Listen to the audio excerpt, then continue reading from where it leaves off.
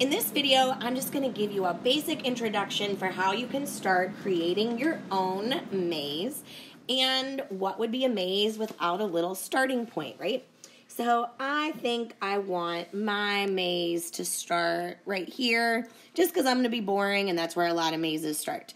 So I need to look and see what ordered pair corresponds to this. And it's negative 8 on the x-axis and 5 on the y. So negative 8, 5. So in the little equation editor over here, I'm going to type the, the ordered pair, negative 8, comma, 5. And voila, there is my start. Now the cool thing about Desmos is you can do something called adding a label, and you can see that right there. So I'm actually going to click on that box, and I'm going to give it a label of start so that you can see where the starting point is. If I click the settings wrench right there, it lets me make the label bigger if I want to, lets me make it vertical if I want to instead. Not a ton of options, but you know, better than nothing. And then if you click and hold the green dot right here, that gives you options for what the actual coordinate itself looks like. So you could change the color, you can make it a little X instead if you wanted to. There's a, a few like cool little things that you can do with it. I'm going to leave it as a filled in dot though, and I'm going to leave it green because to me green means go. And now I need some obstacles for this thing to get through. Well, actually I need a finish, don't I?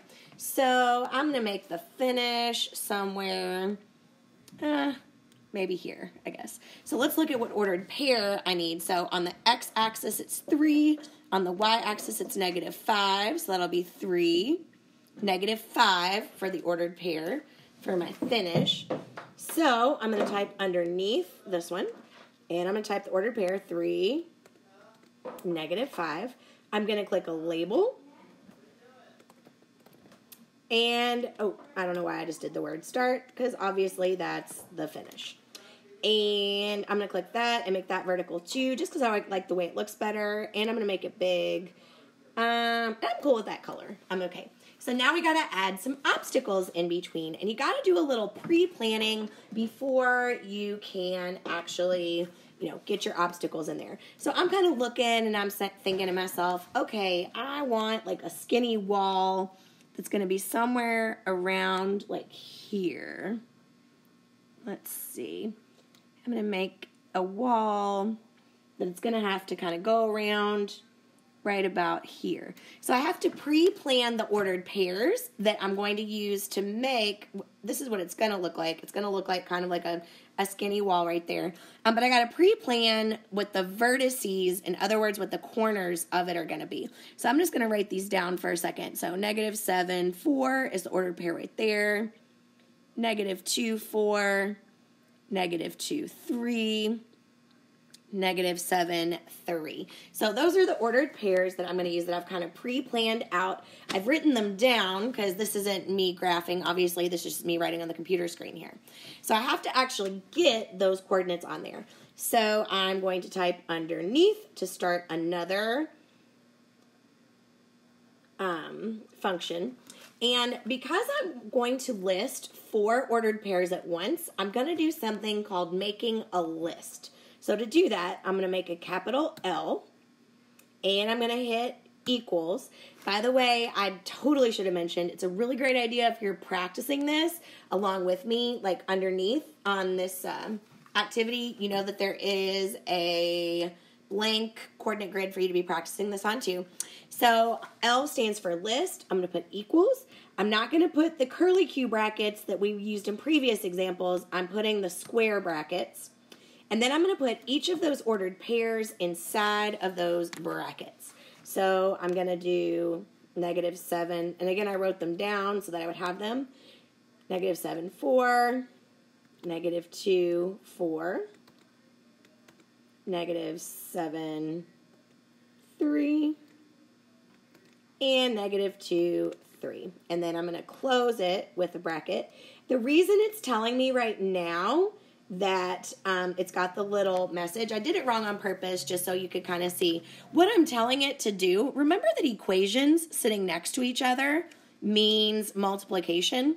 So by just putting these coordinates right next to each other, I'm telling the calculator to multiply these coordinates essentially, which they can't do. So I need to put commas in between each one so that Desmos knows that I'm really just saying, hey, give me those four points. And then you'll see, voila, those coordinates up here, right there, once I get done with the list. So we've got the vertices or the corners for the first wall I want to build, but we don't have the actual shape yet. So I'm going to go beneath and I'm going to do what's called a polygon function. So a polygon, in case we have forgotten from earlier grades, is any shape that has straight lines and vertices. So, like a circle isn't a polygon because it's round, but as long as it's a closed figure that has straight sides, it's a polygon. So, we're going to type in the word polygon here into the function. So, polygon is how we spell that. And we're saying, hey, we want to make a list out of this L. So, polygon, we're going to put it in parentheses, L. So what I just told the computer to do was take all four of those individual coordinates, which are labeled by the list L, and turn them into a polygon. Now, this doesn't look like a rectangle, does it? Which is what I wanted it to look like.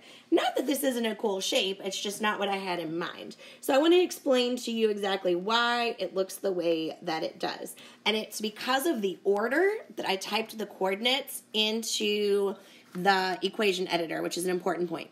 So I typed negative 7, 4 in first. So this was the first one I typed in. Then I typed in negative 2, 4. So then I typed in negative 2, 4. So you can see that it made a straight line going from 1 to 2. But then the next one that I typed in was negative 7, 3, which is this one right here. So I told the computer graph 1 and then 2 and then 3 and then finally graph the fourth one. So that's why it made the shape look like that. So if you want it, not that this isn't a really cool shape, maybe that's the way you want it to look. But I wanted it to look like a rectangle. This actually would make kind of a cool, you know, maze maze uh, shape. Um, so maybe I want to save this for later. But in order to get it to actually be a rectangle, I need to trade the order. I need to take the negative two, three, and I need to cut it and I need to paste it here so that now it goes literally like one so that it does it in the right order. So like one two three and four. But again you can make some really cool shapes that way and that's actually something for you to play with. That would be pretty darn cool. So now i want to make another shape. I want to make another rectangle. Let's say I want to make another obstacle. Eh, so I've gone down. Maybe once I've started and I've headed down this way, I want to put an obstacle here that's kind of going to block whoever, you know, them trying to get through. So that's where I'm going to put my next wall. So just like before, I need to plan out my vertices. Oops, sorry, I didn't mean to do that. I'm going to plan out my vertices or my corners of where that wall is going to go.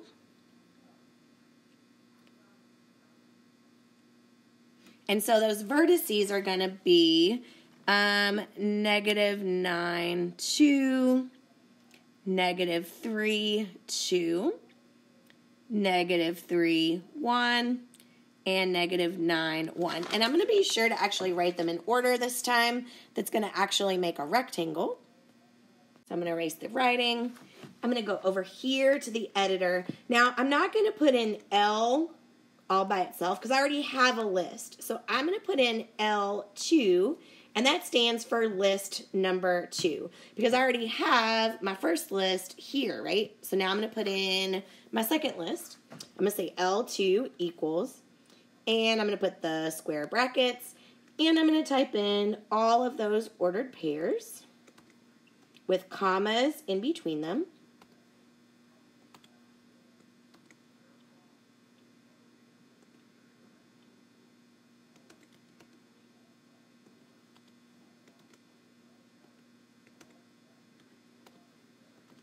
Hopefully you're doing this with me because that would be good.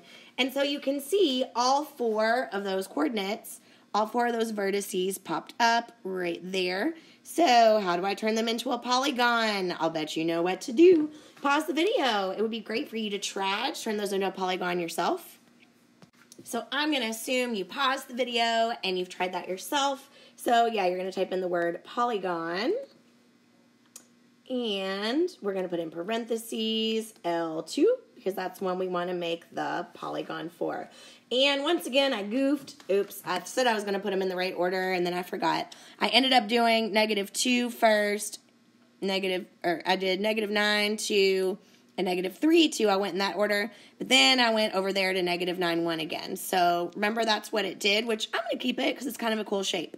It went there, and then there, and then there. So that's why it looks kind of little cool and different. So now um, I've got my second polygon in there. So I think you're getting the idea about how you can add your own shapes.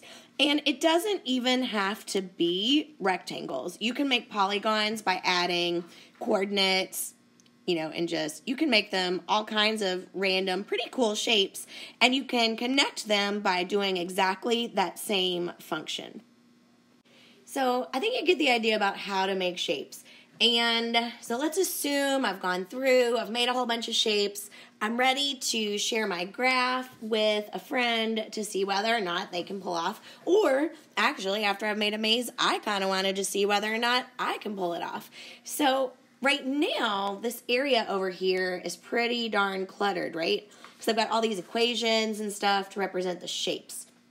So we are going to do something that's called hiding these shapes. And here's how we're going to do it. We are going to hit the plus button. We are going to add a folder. And I'm actually going to drag this folder up here to the top.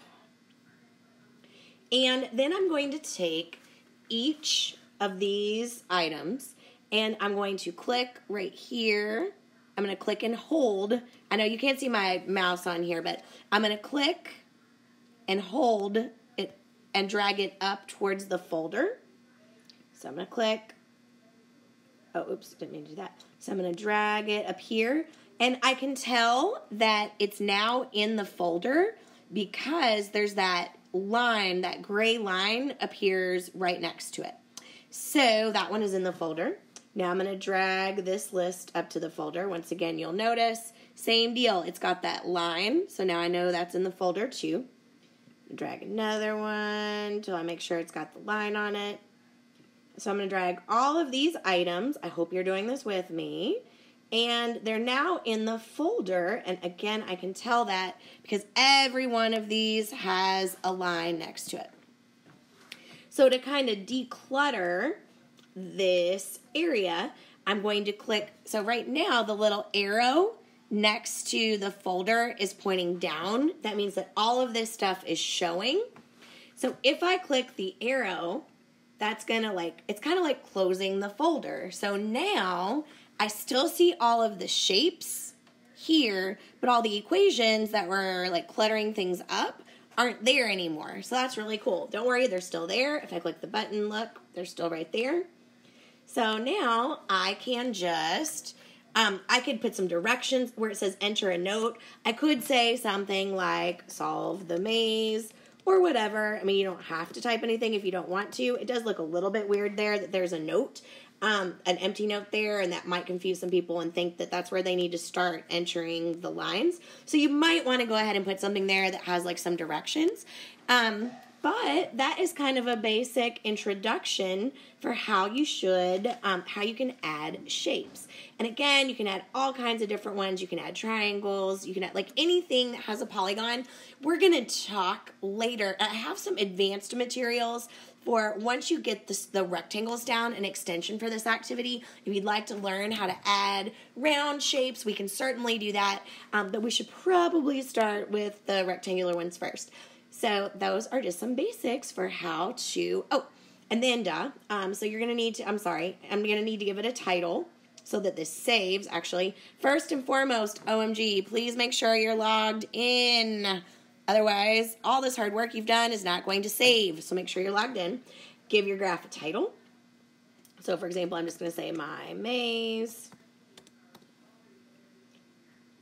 Save it. And so this will actually be saved to your login. So if you go over here, you can see I've actually um, saved some other things. So it says like current graph. Here's another one that I saved earlier. So anytime you go to login from now on, your mazes are all gonna, your maze is going to be saved right there. And then you can just open it up and you can keep working on it. Um, it'll always be saved. So that's really cool. And then you'll be able to share your graph any way that you want. Um, for I'm going to ask you to to submit to me your your maze once you've got it completed. So you're going to to share it, you can just click on this little button that says share graph. And you can just copy and then you can paste it into uh, the assignment box that I'm going to give you so that I can see your cool new maze.